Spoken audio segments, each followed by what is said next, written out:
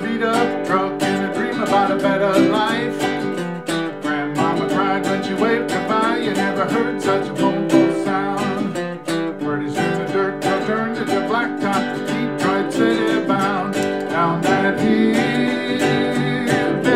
highway. On that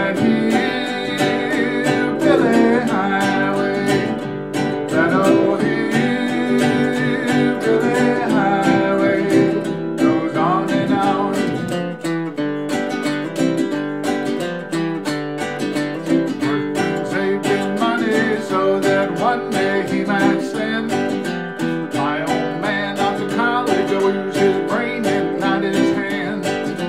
Grandmama cried when she said goodbye. You never heard such a